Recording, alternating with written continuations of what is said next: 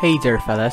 This is your chap Dre Da Vasti, and I made a portrait of His Holiness Pope Emeritus Leo XIII. Before we begin, uh, I would like to announce that we already have an official website thanks to the software Wix.com, and I would like to give credits for supporting and teaching me about how to make a website to my teacher, Ma'am Miriam Madera. The website contains all the works which I really afforded informing at its finest. The horror that I really enjoyed software breakdowns due to extensive editing, but it was really worth it. You can explore from my art portfolio of works, blogs, which entail information about my works, and my bio as an artist in order for us to stay more connected in our relation as my dearly subscribers.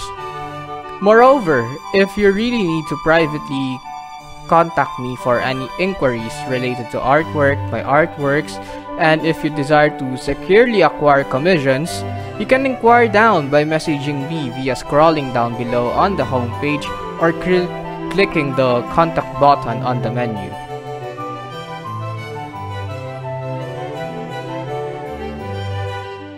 Don't forget to like, share, subscribe, and tap the notification bell for updates. Kindly also support my social media accounts on Facebook and Instagram. Uh, the style of the art is akin to the medieval-inspired manuscript painting I made last time. Um, if you want to know more information regarding about the work, uh, you may refer to my blog by checking down the link below in the description box. Starting I first made a base of coffee to make the tint of the paper look more classic and for the better flow of my watercolor paint.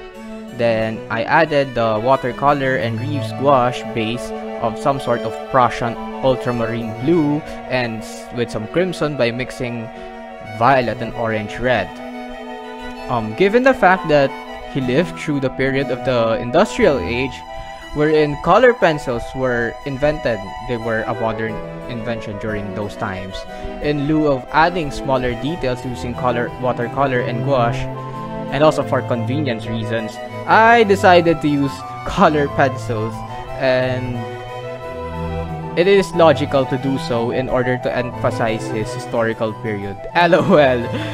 I then added some skin tone with uh, base. Uh, I I mean I, I then added some skin tone base on the faces of Leo XIII and Aquinas, which is kind of dull. For I decide desire to achieve a more classical tone in the faces of the work.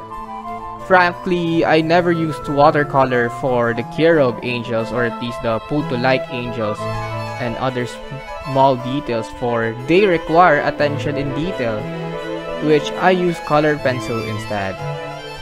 For the metallics, I used some gold and silver Prismacolor pencils and gold ink for the bigger parts although it seems that the gold ink or pen has bad flow of ink so I really needed to pull out the nib to just emboss the gold details especially on the cope to achieve that nostalgic manuscript illumination.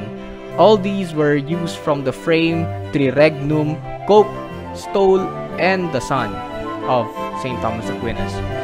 The frame in violet uh, contains depictions of Saints Peter and Paul with intricate details like the Jewish cross, which is kind of the Oriental style. I really made the frame kind of Oriental style because it has like repetitive patterns. Anyway, I also added symbols within the four corners based on the legacy of the pope, which I will expound later on here. And we're done.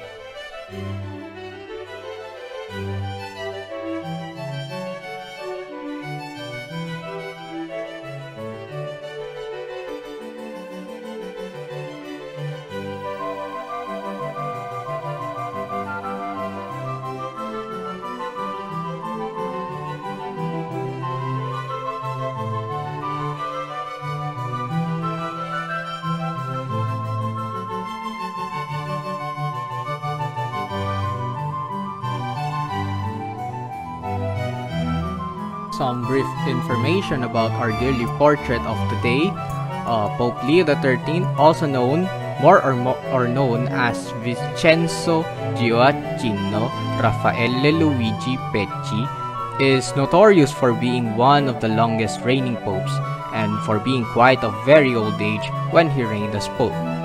He was also very staunch in promoting the intellectualism in Catholic teachings, especially in terms of theology, by pioneering in Catholic education, adapting the church in reputation and prosperity to the eyes of the modern world. With this, he upheld the philosophy of Thomism, which is the philosophy of my devoted saint Aquinas, for it is known to promoting faith with logical reason, especially on the existence of God and other prevailing reasons regarding the truth of this realm of the universe. He promoted Thomism via his paper or encyclical of Aeterni Patris or Eternal Father in Latin.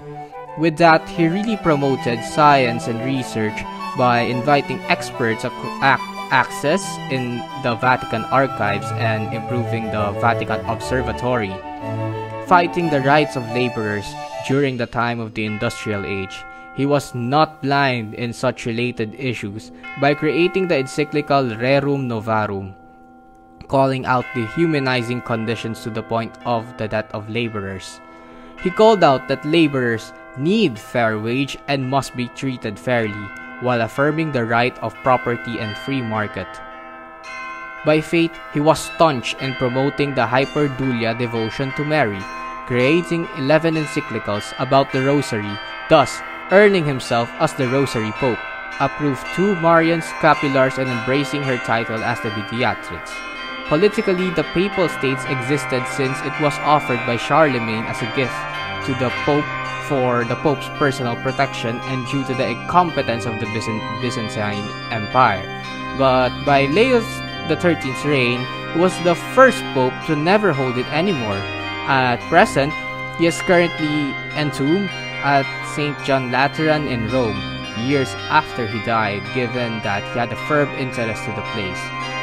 Uh, personally, given his steadfast contributions, I really don't know why he is still not canonized in the church for he nourished it in goodness, especially intellectually. Maybe he is underappreciated or not really minded by the Vatican or by canon lawyers due to many candidates for sainthood. Hopefully, someday he can be a saint that I may intercede since checking his life may be actually odd. And that's my 10 cents. Don't forget to like, share, subscribe, and tap the notification bell for updates. Kindly also support my social media accounts on Facebook and Instagram. Thank you for watching and Godspeed.